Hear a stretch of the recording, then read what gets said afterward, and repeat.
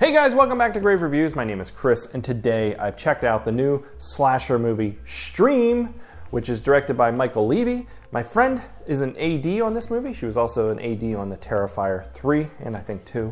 And this movie is put together by the same production company, Fuzz on the Lens. So Damien Leone, who is the director writer of Terrifier series, uh, did the practical gore effects in this film, which do show, and it's probably one of the best aspects of the film. Stream is about this family who is going on vacation. They stay at this hotel, and as it turns out, not is all as it seems. There may or may not be four sadistic killers running around, streaming their kills for an audience, and some hijinks ensue.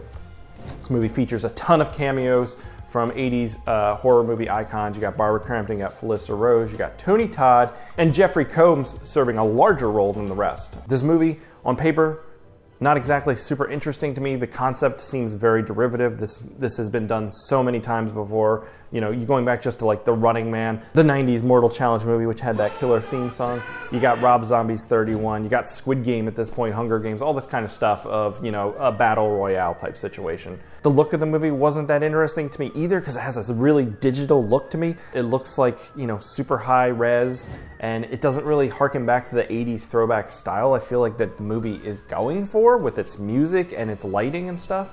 I never understand why uh, directors make this choice of wanting to make an 80s throwback thing, but they give it a modern, sleek look. It doesn't really jive for me. And I think the digital sharpness of everything and the high quality nature of it doesn't give you the soft uh, focus or blurred kind of lines that film does and the gritty nature that I'd want for something that's super gory. To me, it doesn't help sell the practical effects that well. But the aesthetics here are subjective. I'm being nitpicky. I like a certain kind of aesthetic that this movie just didn't quite have for me. Doesn't really hurt the film though. I think a lot of people won't care. For me, what hurts the film the most is that it's like two hours long and it is a derivative idea filled with a bunch of cameos that feel more like um, fan service rather than actually servicing the, the, the, the story and the actual heart of the film.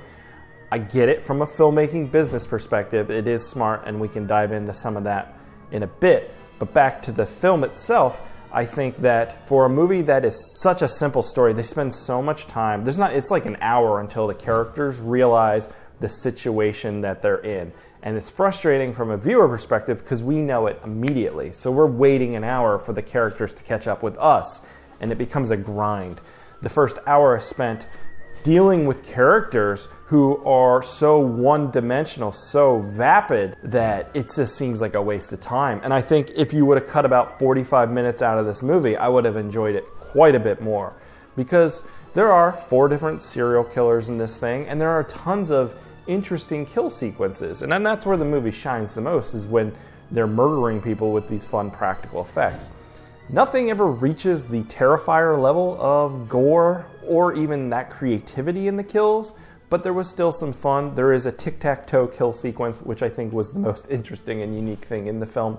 You have David Howard Thornton, who plays Art the Clown uh, in the Terrifier films, showing up playing a killer in this, and this really showed me his range as really not being much. He plays almost exactly the same characterization of art and his movements and stuff, but wearing a cheaper looking look and mask.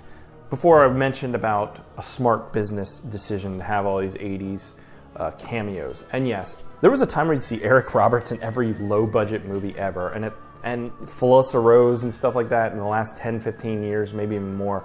It's because when you're making a no or low budget movie, if you have a named actor attached to it, it's much easier to find distribution and potentially an audience, or at least that's what distributors think.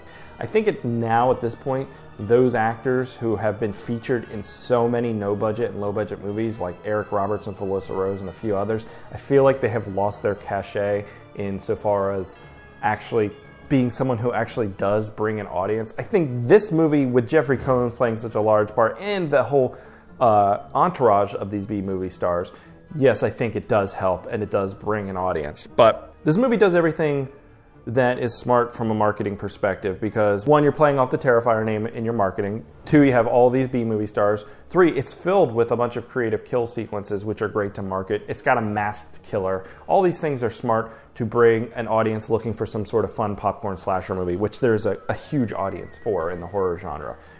Uh, outside of the kills, you really have not much working for me here. There's a lot of creativity in coming up with horror and kill sequences. Um, something that I really couldn't do. I couldn't make a movie like this just because I love them. I love slashers and I love creative kills. I just don't really have that uh, muscle built up or that uh, instinct built up on how to fashion a creative kill sequence. So that is something I do really appreciate about these kind of slasher movies. The story, though, is completely lacking and really disappointing for me. There's also other moments that stuck out as kind of weird. There's moments with the daughter going on dates and stuff like that, or going out with a guy, and it feels like they're playing like stock music from like Love is Blind or some sort of Netflix reality show where it feels like a modern day pop song, but like a bizarro, cheap version of it. And it just feels really hacky and cheap at times. So the movie is very competently made and shot and has a style that I just wasn't quite in love with. And it does have some fun kill sequences, but it is a slog to get through at times. And like I'm saying, if they would have cut a considerable amount of this movie, it would have been much more of a breezy, popcorn, entertaining watch. By the end, I was satisfied with some stuff that happened in the kill sequences, and I did have a decent time with it. So that's Stream. If you've seen it, let me know what you think. Let me know if there's anything I should be watching. Leave a like and a comment because that helps out the channel. And I'll catch you here next time, guys. Goodbye.